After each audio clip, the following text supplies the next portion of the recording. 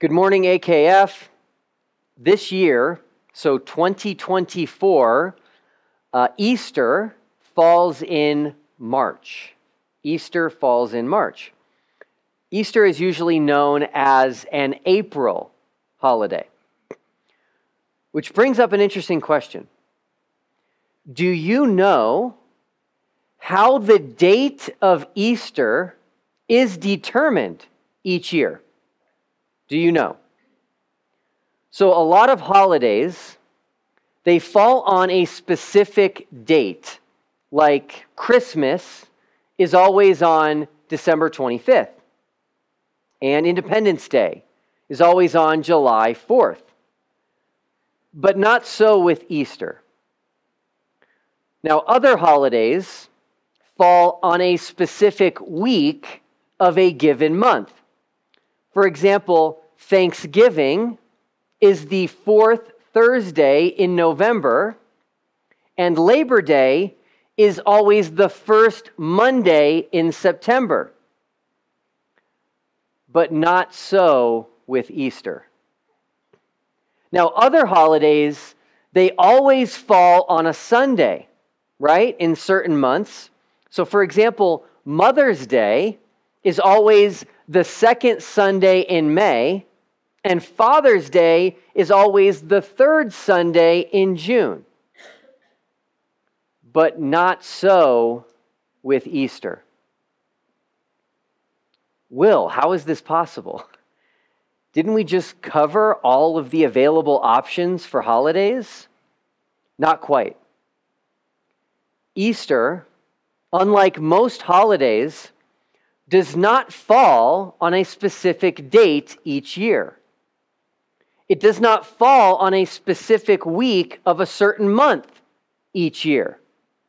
And it is not always on the same Sunday of a certain month. Unlike these traditional methods, Easter is actually based on the moon. Easter is based on the moon. Yes, the same moon that flat earthers say is not a sphere and does not have craters and is not a rock because it self illuminates. Yes, that moon. Easter occurs on the first Sunday following the first full moon that happens after the spring equinox. That is how Easter is dated. The spring equinox falls on March 21st. So the Sunday following the first full moon after March 21st is Easter.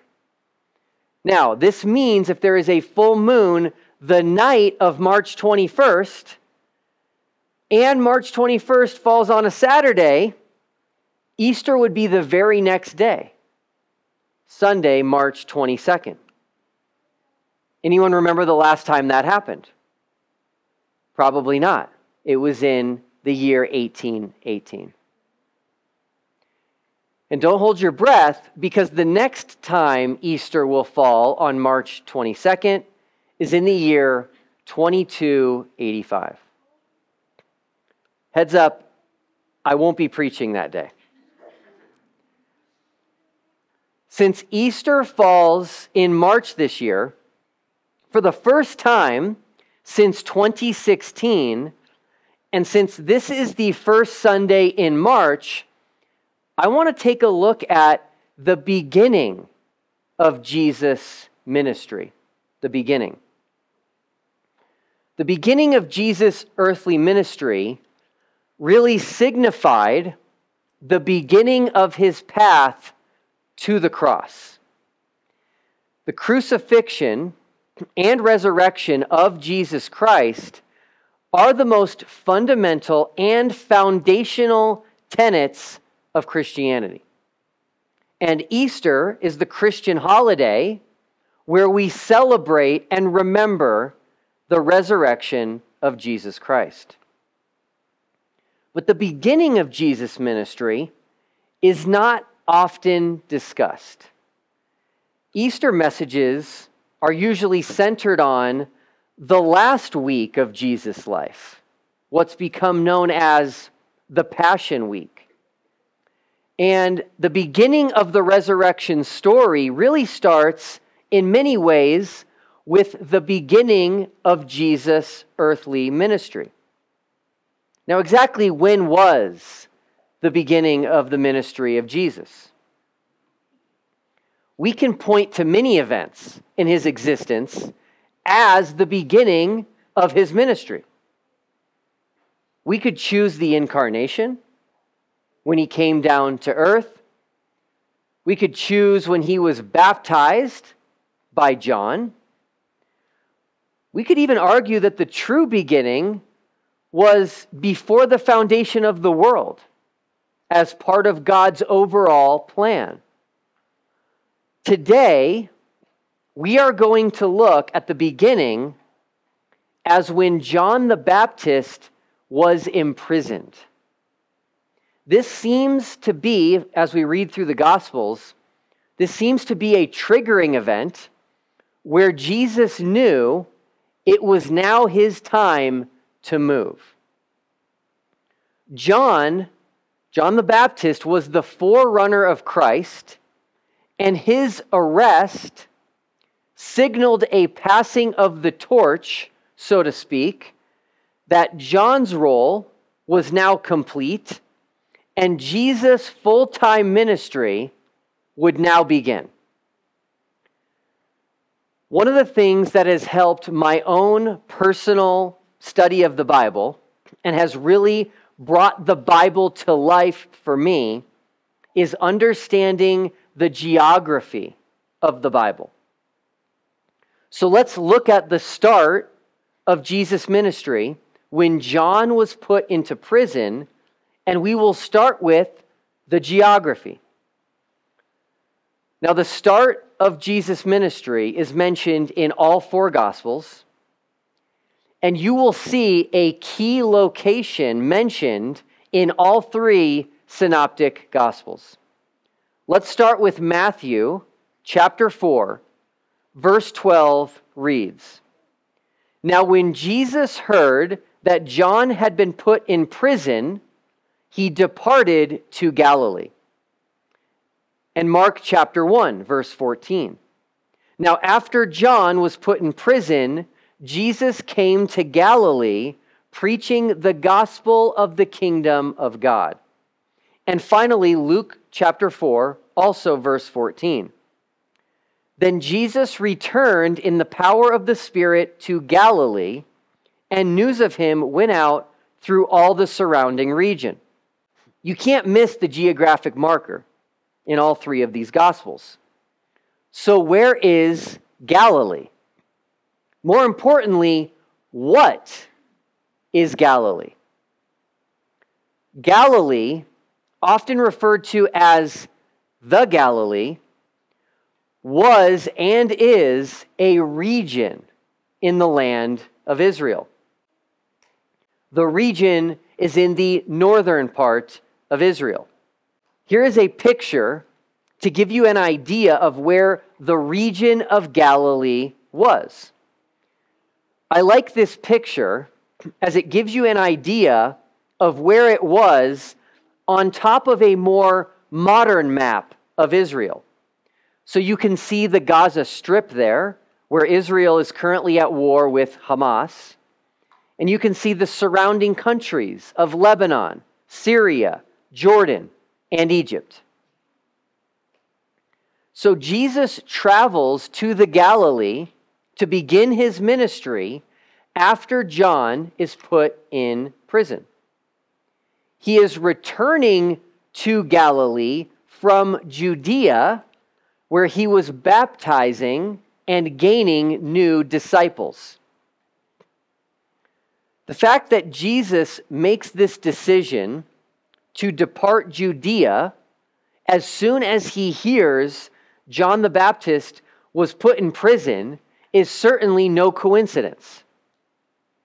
It is likely that since John the Baptist was now being silenced, seeing as he was the forerunner of Christ proclaiming the coming Messiah, that was Jesus' cue to pick up where John left off. So Jesus heads north from Judea, which is another region in Israel, through Samaria, another region, to the Galilee region. And after a stop in Cana, where he had previously turned water into wine, on this trip he healed the nobleman's son. Jesus then returns to the place where he grew up, the town of Nazareth. Now consider that he has been away from home for about a year at this point. He left initially and was baptized by John. He then spent 40 days in the desert and was tempted by Satan. And then Jesus spent about eight or nine months baptizing in Judea. Now, here is a map of Israel. I usually include the Sea of Galilee and the Dead Sea in pictures of maps of Israel to make it obvious that we are looking at Israel. Those are the two bodies of water in the middle there. And the yellow star, just to the west of the Sea of Galilee, is the city of Nazareth. Now, I believe Jesus went to Nazareth right away, knowing he would not be accepted. He knew he would not be accepted. Why? Because it was his hometown. We've all experienced this, by the way. If you're really good at something, or you're known for something, your family members really can't really accept that, right? They're like, no, that's just that person that I've seen grow up. That, that person's not special. That's, that's, that's what Jesus went through with Nazareth, but obviously to a much greater scale. Now, Luke's account is the only one that tells us what happened in Nazareth, and it's pretty important both historically and geographically. So let's read Luke's account in chapter 4, starting with verse 16. So he came to Nazareth where he had been brought up. And as his custom was, he went into the synagogue on the Sabbath day and stood up to read. And he was handed the book of the prophet Isaiah. And when he had opened the book, he found the place where it was written The Spirit of the Lord is upon me, because he has anointed me to preach the gospel to the poor. He has sent me to heal the brokenhearted, to proclaim liberty to the captives, and recovery of sight to the blind to set at liberty those who are oppressed, to proclaim the acceptable year of the Lord. Then he closed the book and gave it back to the attendant and sat down. And the eyes of all who were in the synagogue were fixed on him. And he began to say to them, Today this scripture is fulfilled in your hearing. So all bore witness to him and marveled at the gracious words which proceeded out of his mouth. And they said, Is this not Joseph's son? He said to them, You will surely say this proverb to me Physician, heal yourself. Whatever we have heard done in Capernaum, do also here in your country. Then he said, Assuredly I say to you, no prophet is accepted in his own country. But I tell you truly, many widows were in Israel in the days of Elijah, when the heaven was shut up three years and six months, and there was a great famine throughout all the land. But to none of them was Elijah sent except to Zarephath in the region of Sidon to a woman who was a widow. And many lepers were in Israel in the time of Elisha the prophet, and none of them was cleansed except Naaman the Syrian. So all those in the synagogue, when they heard these things, were filled with wrath and rose up and thrust him out of the city and they led him to the brow of the hill on which their city was built, that they might throw him down over the cliff. Then, passing through the midst of them, he went his way. What a start to your ministry. They tried to kill him from the very beginning. this happens to be one of my favorite miracles in the Bible as he walked through the people trying to kill him. Imagine what must have gone through their mind at the time. Now, it's no secret that children leave the faith very often after they leave the home. And something I'm a bit obsessed with and will continue to always talk about is apologetics. Apologetics is the branch of theology concerned with defending our faith, defending our Christian faith. Jesus was a real person. Galilee was a real region in Israel. Jesus was a real person. Nazareth was a real town in Galilee. Jesus was a real person. And you can even visit Nazareth today, and it's in the exact same spot it's always been.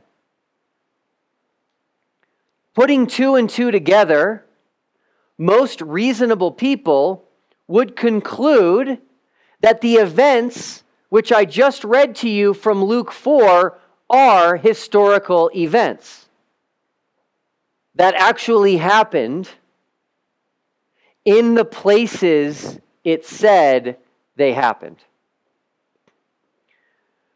Now, of course, skeptics cannot agree to this, or Christianity and theism are both pretty much true at that point, if they just agree to the few verses I just read in Luke 4. So, what are they going to do? Well, they're going to deny some or all of these things.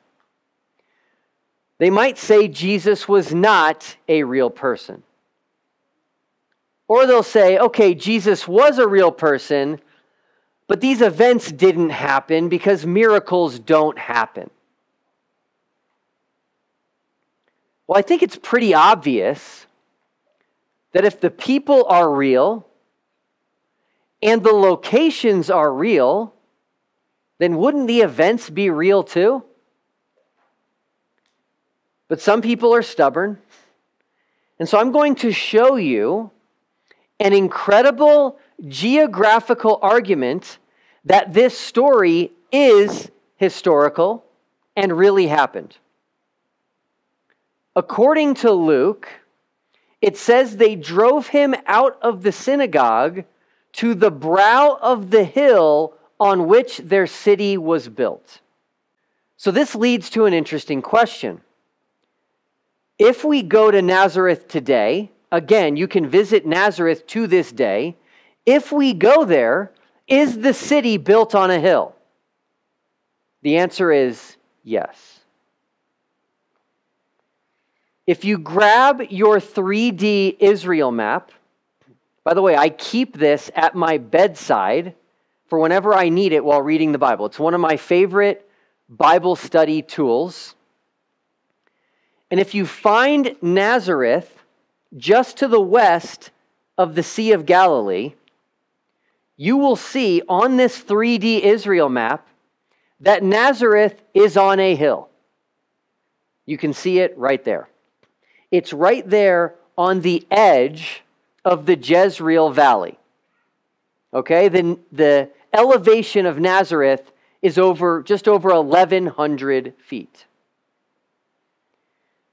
And then Luke continues and says, And they led him to the brow of the hill on which their city was built, that they might throw him down over the cliff.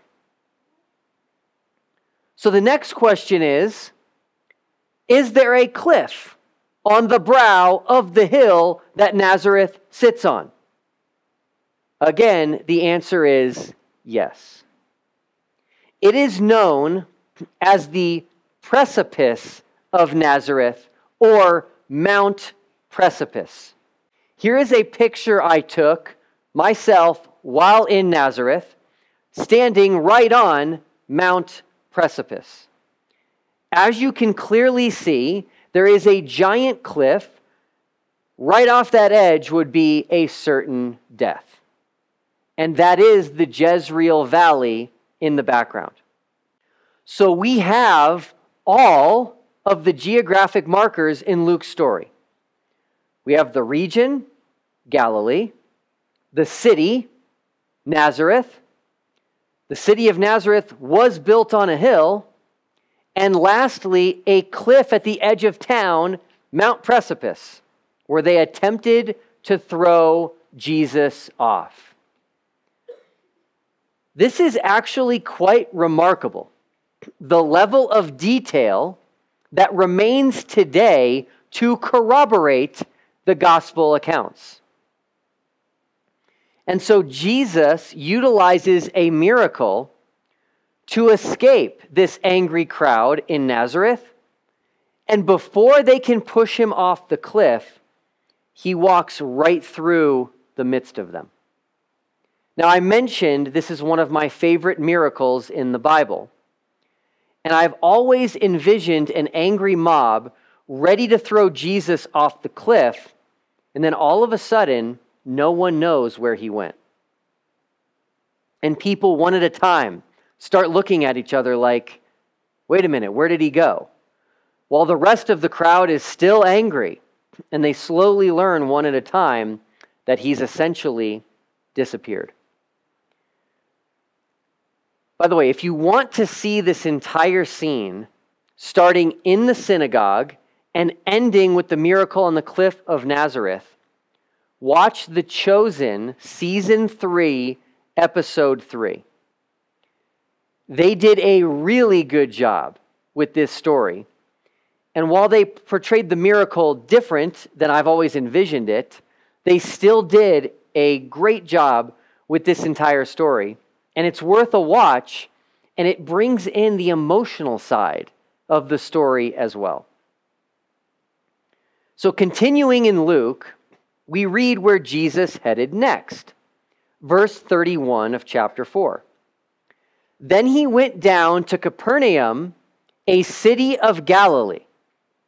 We also see this in Matthew 4:13, which says, "And leaving Nazareth, he came and dwelt in Capernaum, which is by the sea in the regions of Zebulun and Naphtali. The sea mentioned here is, of course, the Sea of Galilee. Grabbing our maps of Israel again, if you are ever looking at a map of Israel, the bodies of water in Israel will always make it easy to get your bearings on the geography of the region. So the Mediterranean Sea is the very large body of water that shows you the western border of Israel. The Sea of Galilee is the large lake on the north end of Israel. The Dead Sea is the even larger body of water to the south. And then the Jordan River connects the Sea of Galilee to the Dead Sea and also represents the border between Israel and Jordan, their neighboring country to the east.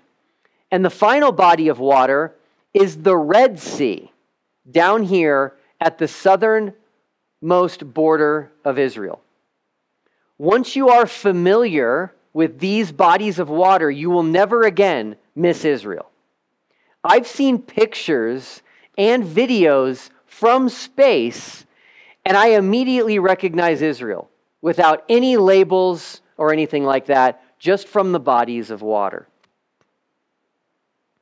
So, coming up here to the north of Israel, to the Galilee region, find Nazareth again, and then find Capernaum, which is the town on the north shore of the Sea of Galilee.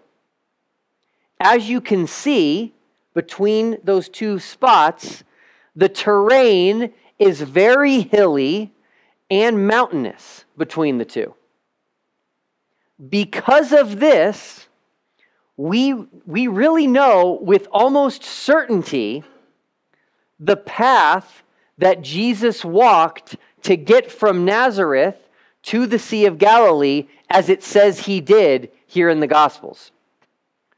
So I imagine after walking through this crowd in Nazareth, Jesus did not stop and headed straight for Capernaum.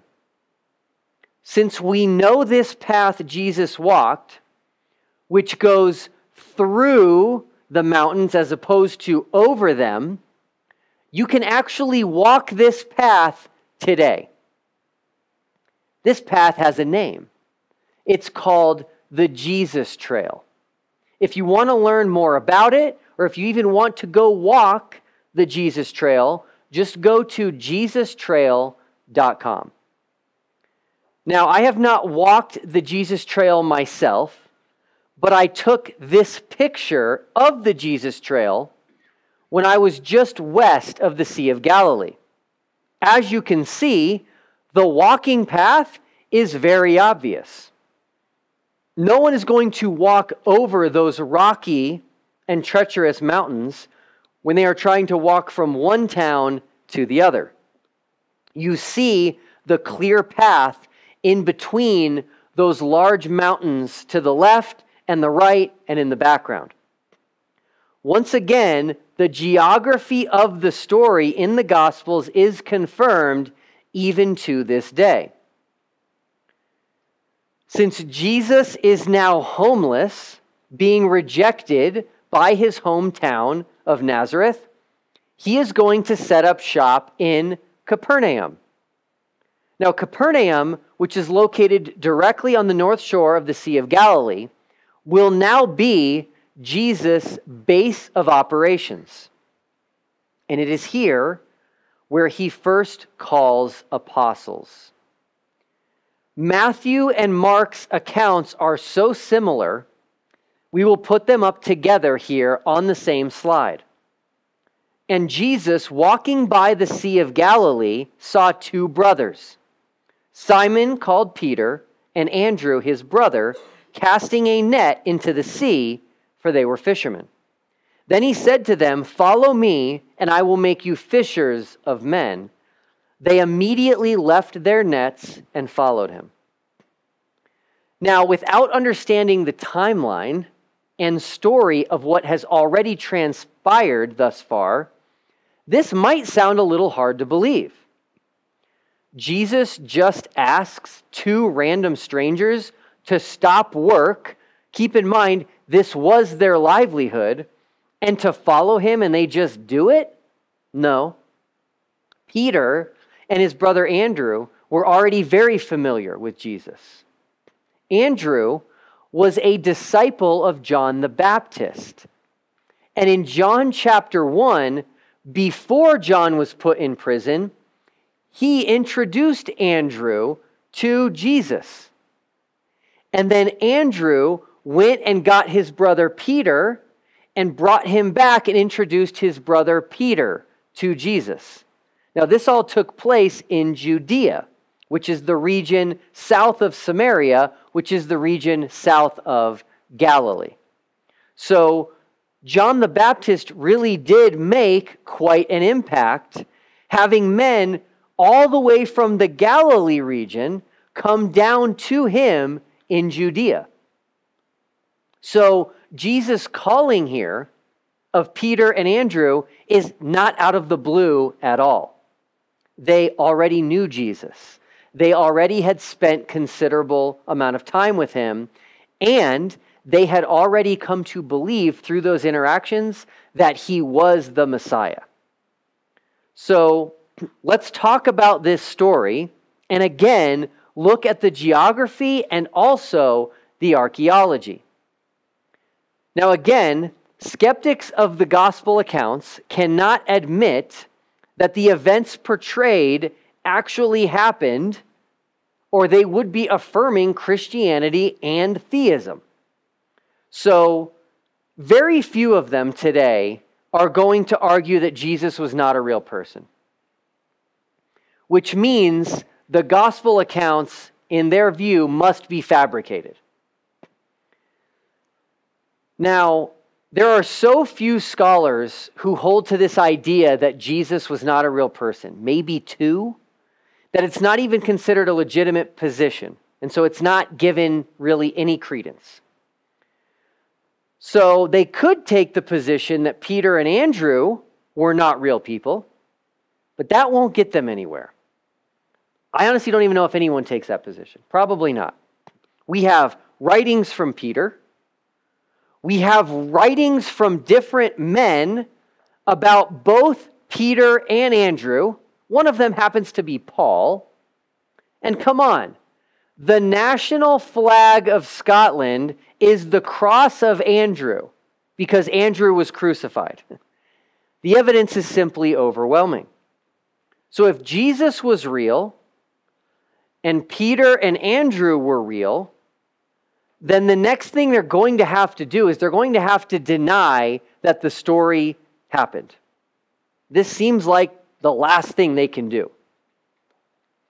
And according to the story, Jesus walked from Nazareth to Capernaum, and one day, while walking on the shore of the Sea of Galilee, calls Peter and Andrew to be his apostles.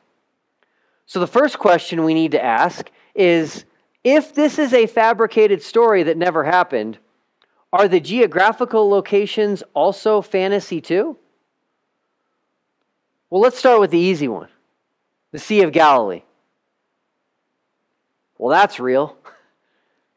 It's still there to this day, and it's in Galilee, just east of Nazareth. What about Capernaum? Was Capernaum a real city? Well, Matthew 4:13 tells us that Capernaum was by the sea, and it told us that Jesus called Peter and Andrew while they were casting their net into the sea. So Capernaum, if it's a real city, it would need to be right near the water on the Sea of Galilee. And what do you know? Capernaum was discovered a fishing village on the north shore of the Sea of Galilee. Archaeological evidence shows that this town was established in the second century BC. That stands for before Christ. And that also lines up with the story in the Gospels, as this town would have had to have been built prior to Christ if the story in the Gospels is true. So far, so good. As we continue the story, we read in Mark 121. Then they went into Capernaum, and immediately on the Sabbath, he entered the synagogue and taught. So Capernaum also had a synagogue, according to the story. This is pretty significant. Not all towns had synagogues back then. So this gives us another clue. And as you may have guessed, they discovered a synagogue in Capernaum in 1866.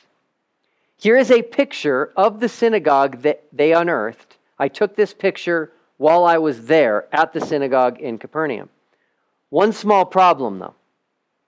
The stones and the design of this architecture are what was used in the 4th and 5th century centuries AD. So this particular synagogue is too late for the time of Christ. Now, this is where we got to put our thinking caps on. It makes sense that if there was a synagogue there, that there would have been a synagogue there earlier.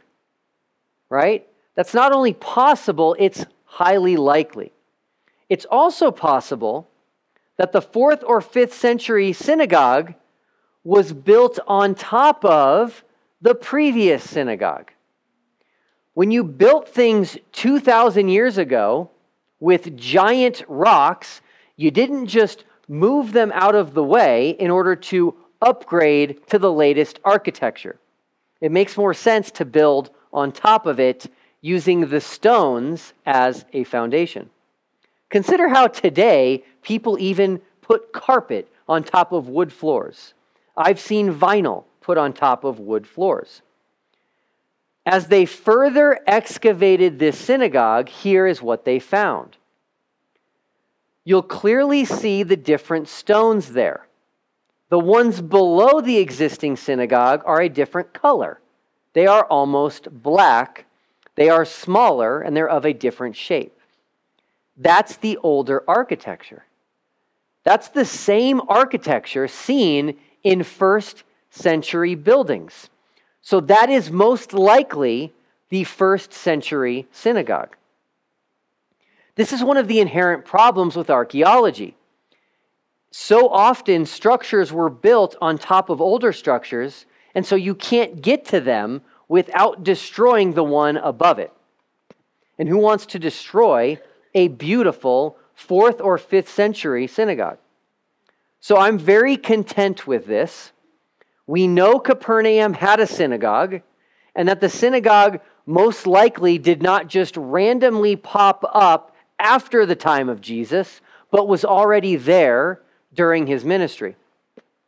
And they found one more thing, which, in my opinion, is simply stunning. This is an octagonal church excavated in Capernaum. And this church was built directly on top of a house. A house. And the houses uncovered in this area date to the first century BC before Christ. The church was not only built directly on top of a house, but they can actually tell that the house was renovated in a way that it was no longer a house. It was renovated more as a place for communal gatherings. And they found graffiti scratched into the walls that said things like, Lord Jesus Christ, help thy servant, and Christ have mercy. And in the graffiti, they also found another name, the name Peter. Wow.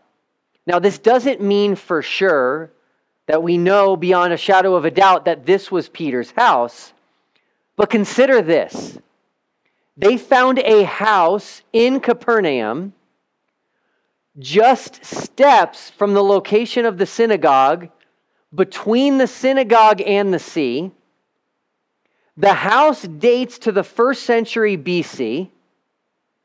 In the years following Jesus' death, the house was transformed into a religious gathering place, and they find both Peter's and Jesus' name scratched onto the wall. What's even more incredible is what Mark 1 tells us. Starting in verse 29, we read this. Now, as soon as they had come out of the synagogue, as soon as they had come out, they entered the house of Simon and Andrew with James and John. But Simon's wife's mother lay sick with a fever, and they told him about her at once. So he came and took her by the hand and lifted her up, and immediately the fever left her, and she served them. Notice it says, as soon as they had come out of the synagogue, they entered the house of Simon and Andrew. This fits perfectly with the location of the excavated house, which is literally steps from the synagogue. Again, from a big picture standpoint, because it's very easy to get lost in the details. With the overwhelming evidence we have, skeptics really have to agree that the people in the story, Jesus, Peter, and Andrew, were real people they have to agree that the locations, the Sea of Galilee, Capernaum, the synagogue, were real locations. So that only leaves them with the last ditch effort of claiming the stories were fabricated, even though the people were real people and the locations were real places. This makes absolutely no sense to me. It just makes no sense to me. And how incredible that we find Capernaum, we find it on the shore of the Sea of Galilee. It contains a synagogue, and it contains a residence within steps of the synagogue, one that was renovated into a gathering place for Christians, and they find both Jesus and Peter's names etched onto the wall. Doubters will continue to choose to doubt. But this is incredible evidence. And I'm excited for what has yet to be uncovered and revealed, as I have no doubt it will continue to substantiate the biblical record. As we enter into the month of Easter, and look forward to remembering and commemorating the death and resurrection of Jesus Christ. I hope you enjoyed looking at the beginning of Jesus' ministry and the evidence that has been found of these very events. Let us pray. Father in heaven, we just come to you today, and I'm so thankful that there's a national holiday, a national holiday that we look toward what happened with your son, Jesus Christ, a national holiday to celebrate the resurrection. And Father, I just pray that uh, people have their eyes opened. They cannot just reject these stories, they cannot just reject this record. The evidence is there. We have eyewitness testimony, we have a written record in the Gospels, and we've got geographic evidence and archaeological evidence. The evidence is overwhelming. I just pray that this Easter season, people have their eyes opened and their hearts touched to this particular story. This is the most important story, one that will separate people or join them to you for eternity. And I just pray this all in the name of your Son, Jesus Christ. Amen.